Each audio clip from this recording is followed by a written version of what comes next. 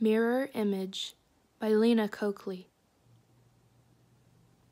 If only there were no mirrors, Alice sometimes thought, although she carried one in her backpack wherever she went. It was a silver plated mirror her father had given her with the initials ACS on the back. Just you, Alice, she would say to herself, looking the way you've always looked. Then she pulled out the mirror. The surprise and disbelief at seeing the reflection was a joke she played on herself over and over. It was disquieting. However, to come upon a mirror without warning, she would say, Excuse me, to her own reflection in shop windows. Mirrors in unexpected places would make her start and lose her nerve. She avoided the girls' bathroom altogether. Alice took to wearing sunglasses all the time to remind herself to keep something constantly in front of her eyes. That would remind her that she looked different. Her teachers let her wear them, Maybe the word had come down from the top that she wasn't to be hassled for a while, but Alice thought it was more than that. She thought they were all a little afraid of her. Of course, her mind learned to ignore the glasses. The human mind is incredibly adaptable. Her mother was always telling her that. Do you think I move differently? she asked her twin Jenny, once identical. Look how my feet kind of roll when I walk. And my hips. My hips feel totally different. Alice walked across the bedroom like a fashion model, wearing nothing but black bikini underwear.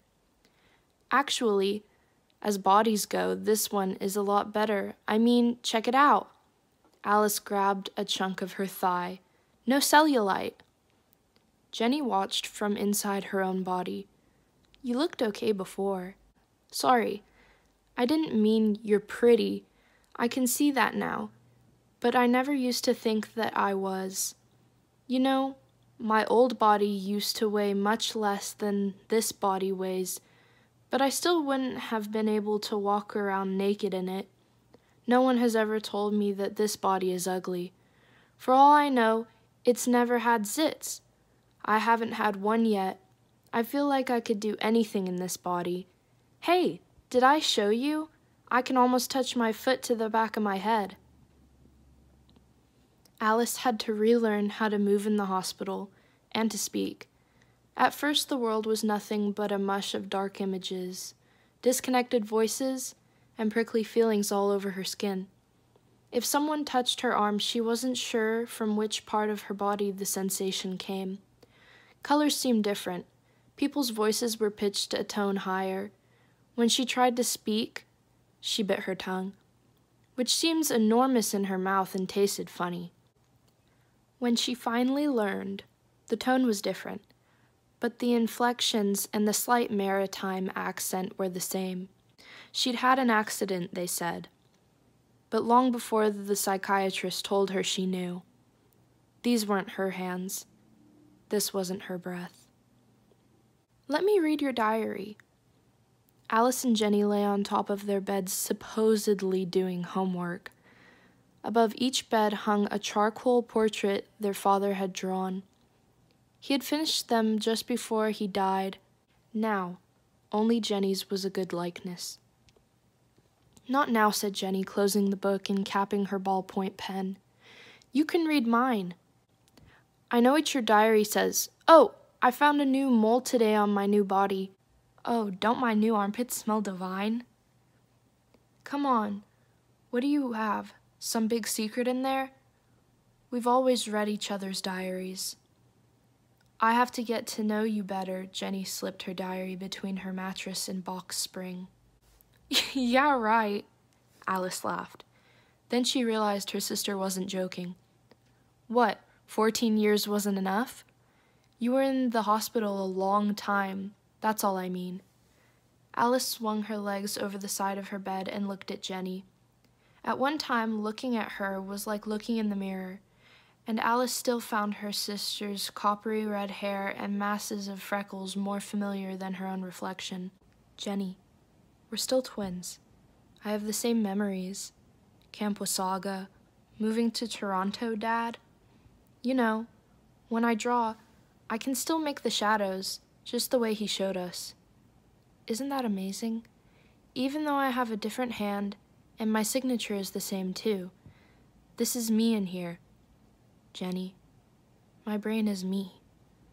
Jenny rolled over on her bed. Whatever. You still can't read it. Alice was in the hospital for months. She saw doctors, interns, psychiatrists, physical therapists, speech therapists.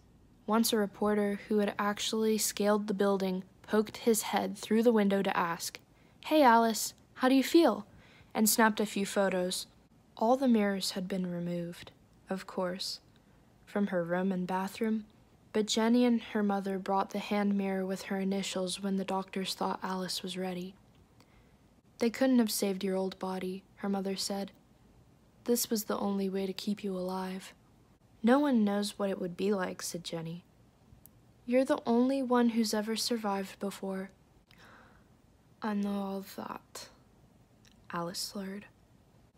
The doctors had taken the precaution of giving her a mild sedative. It made her feel like everything was happening to someone else far away. She held the silver mirror in one hand. With the other, she pulled at her face squeezed it as if it were clay. Alice was mesmerized by the unfamiliar eyes, big and brown and dark. Whenever her father painted her, he'd spend most of his time on the eyes. The eyes are the mirror of the soul, he used to say. Whose soul is that? Alice wondered. For a moment she considered screaming, but it was too much trouble. Besides, it wouldn't be her scream. It's okay, Mom, she said. Maybe I'll start looking like myself again. If I try hard enough, if I concentrate hard enough, very slowly, over the course of years, my eyes will change color. My face, it might. Alice's mother stroked her hair. We'll get through this, she said. The human mind is incredibly adaptable. Mrs. Jared's on TV again, Alice called. Turn it off, her mother said. It's time for birthday cake. But Alice and Jenny kept watching. Above the television, the faces of the family portrait Alice's father had painted smiled out into the room. A new development in the story of Girl X, said the newscaster. First surviving recipient of a brain transplant. Alice's mother stood in the doorway, wiping her hands on a tea towel. She had fewer freckles than Jenny, and the long braid which hung down her back wasn't quite so a bright red. But the family's resemblance was unmistakable. I don't want you to worry about the Jareds, girls.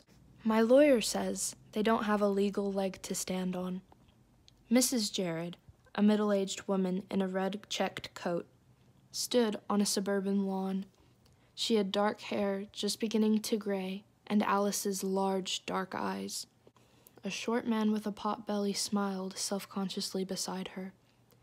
Is that your family? Jenny asked. I don't even know them.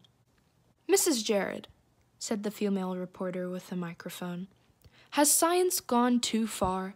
She's our daughter, the woman replied with emotion. When we signed the release form donating her body, we didn't know they were going to bring her back to life with some new brain. Our Gail is alive and living somewhere in Toronto, and I'm not even allowed to see her. Mrs. Jared began to cry, and the camera cut away to Alice and her mother leaving the hospital amid crowds of journalists. Since she was under 18, Alice's face was covered with a round black dot. The girls had both seen this footage many times before. Gail? Wow, that's so weird. That's not my name. The TV flashed pictures of the Jareds before the accident the girl with a dog, a smiling teenager wearing a party dress. Oh, nice outfit, Gail. Darn those TV people, said Alice's mother. They protect our privacy by not showing what you look like, and then they show pictures of your body before the accident. That makes a lot of sense.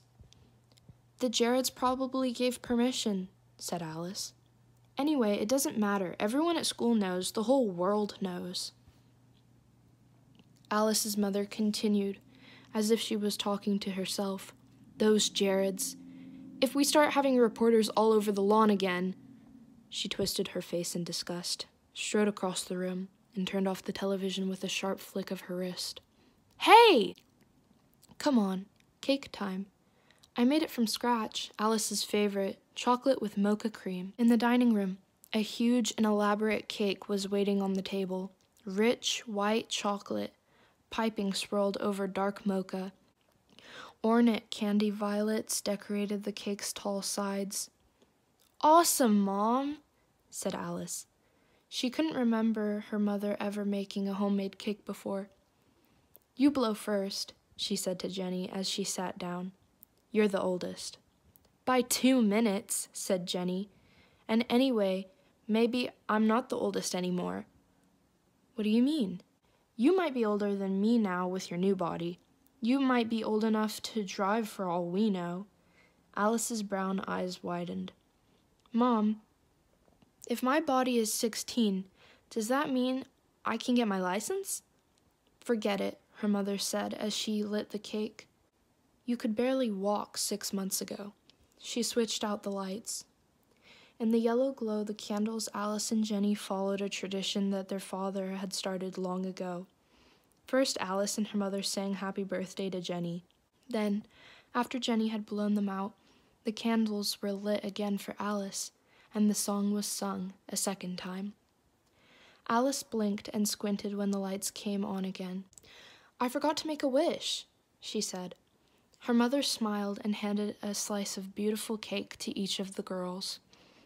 I guess you have to share your wish with Jenny.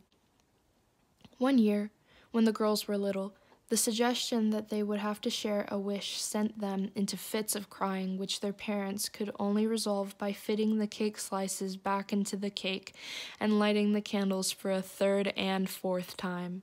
Alice cut the cake with the edge of her fork, happy that the tension brought on by the newscast had begun to melt away.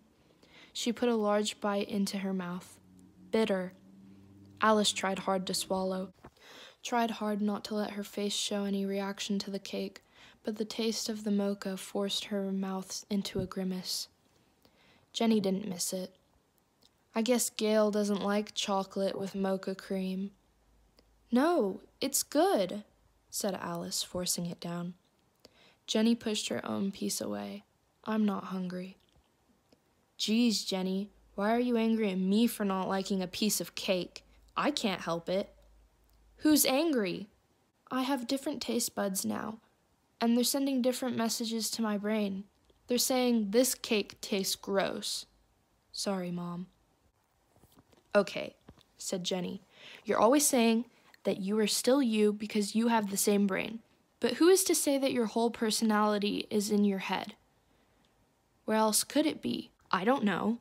Maybe there was some other part of your body where part of yourself lived. Maybe it was your big toe.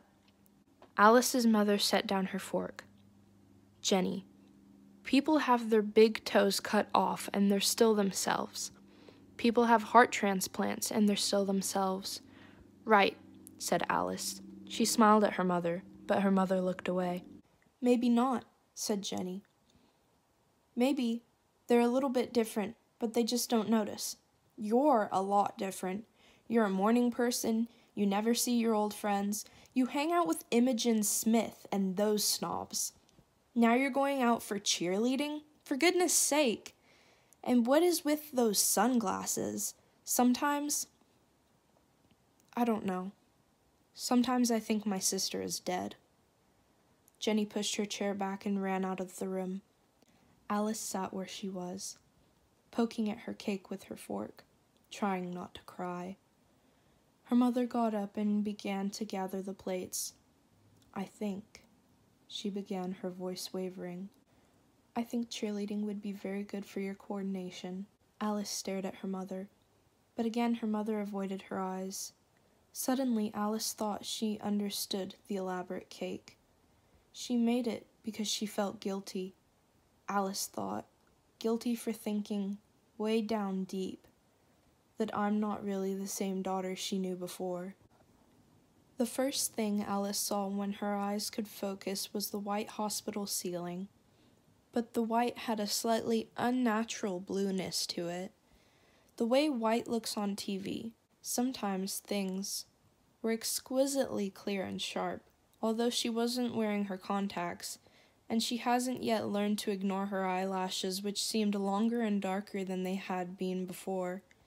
When Alice saw her mother for the first time, she cried and cried. Her skin tone had a different texture. Her hair hardly seemed red at all. She even had a different smell. And Jenny? Why was everyone she knew so different? Why wasn't her father there? Would he be different too? When Alice met Mr. Jared, it was in the middle of the street. A new sidewalk had just been poured on Bedford Avenue, so Alice had to walk in the street to go around the construction on the way home from school. A light rain was falling, preventing the concrete from setting. Mr. Jared held an oversized umbrella, striped red and yellow. Above his head, he might have walked right by her but Alice was staring hard at him, trying to remember something, anything about him besides the newscast. Gail, he said in a soft mumble, and then, I'm sorry. I mean, Alice.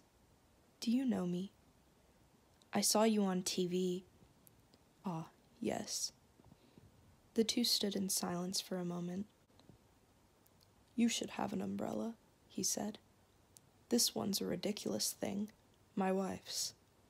Here. No, no, it's just sprinkling, really. But Alice took the umbrella Mr. Jared offered, holding it upside down, its point in the road. This is very strange for me. Very strange, he said, staring at her. We knew you were in Toronto, but, well, to be honest, it was my wife who wanted to contact you. I. I thought it would be better not to see you. It's very strange. He repeated and then added, You look so different. I do? Your hair, the way you stand, even. Our Gail, she was an early bloomer, always slouched. Your accent is different, too. He paused. I understand. You know. My wife, she thinks our daughter is still alive. But I. I know. A car turned onto the street and honked at them. I'd better go. On impulse, Alice grabbed Mr. Jared's hand. It was warm and big and rough, and Alice knew. She had never felt it before. I knew I wouldn't remember you, she said but I was hoping, when you walked by, that I'd know you somehow. Mr. Jared took his hand away. But you don't. No. Alice slid her dark glasses to the top of her head. My dad. I guess you know he died in the accident. Yes. Sometimes I think, if he were alive, he would just look into my eyes and know who was in there. The two stood in silence. Then Alice said, What will you tell your wife? I'll tell her. Mr. Jared's voice began to falter, but he looked at her straight on. I'll tell her I looked into your eyes and I didn't see my daughter. I'm sorry, said Alice. She didn't ask the question that immediately came to her, but the words rang in her mind. Who did you see? Alice gripped the umbrella as she watched Mr. Jared hurry around the corner. She stepped up to the curb and pressed her waist to the wooden barrier that protected the sidewalk. Then she folded the umbrella and secured the strap in a small corner of the sidewalk. She wrote her initials A C S with the tip of the umbrella. Alice was here, she thought, and then she walked towards home.